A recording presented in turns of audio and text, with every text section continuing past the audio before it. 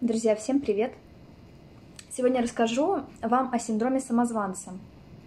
Наверняка вы слышали про это, но если не слышали, ничего страшного. Я сейчас кратко расскажу, что же это за синдром, а более подробно я эту тему буду э, освещать в своем телеграм-канале, ссылка на который находится ниже.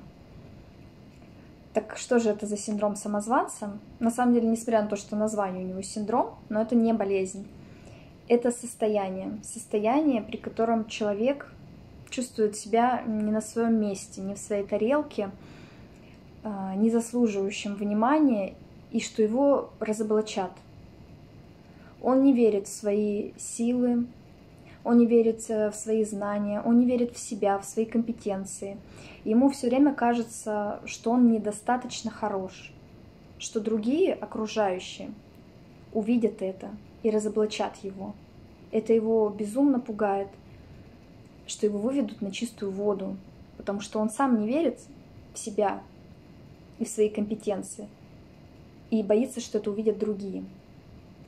Ему кажется, что другие лучше, что вот они на своем месте, а я, ну, какой-то такой незначительный, не заслуживаю я вот прям похвалы, внимания.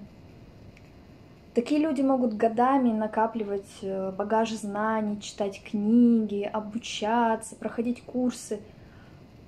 И все. А дальше никак это не применять на практике. Потому что им будет, напоминаю, все время казаться, что все это недостаточно. Я недостаточно умен еще для того, чтобы делать то-то, то-то и то-то. И из-за этого страх, страх что-то начать делать.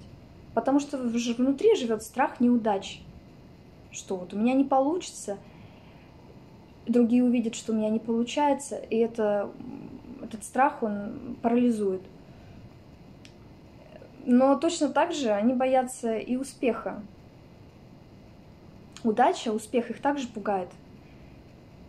Потому что даже достигнув его, высоких позиций, топовых, им у них не будет удовлетворения от этого, чувства удовлетворения. Они все равно будут недовольны собой им будет казаться, а, что это эм, просто удачное стечение обстоятельств, внешние факторы сыграли, что так сложилось, вот удачно. Это не они такие молодцы. Либо им будет казаться, что э, да что это удача, не такая уж это и удача. Мог бы лучше. Они обесценивают постоянно себя. И из-за этого вот этот синдром, он очень сильно парализует людей, истощает и вышибает вообще все желание что-либо начинать делать. Наверняка каждый из вас сталкивался с проявлениями этого синдрома у себя. У кого-то в большей степени, у кого-то в меньшей. Я повторюсь, что я в своем телеграм-канале расскажу и освещу эту тему подробнее, поэтому кому, кого заинтересовала эта тема, переходите, подписывайтесь и читайте мои посты на эту тему. Будем вместе разбираться с этим самозванцем, откуда ноги растут и что делать с ним. Как его, как же с ним подружиться. Всем пока, хорошего дня.